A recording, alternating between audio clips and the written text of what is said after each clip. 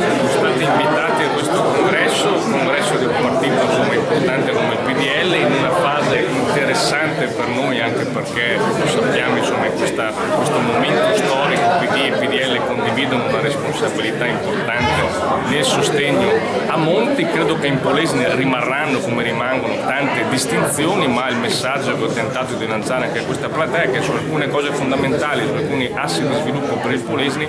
ci sia la possibilità di aprire un confronto serio tra le parti politiche che in questi mesi credo sia mancato nonostante insomma, gli approcci tentativi del mio partito di rilanciare su alcuni temi di fondo che riguardano la provincia.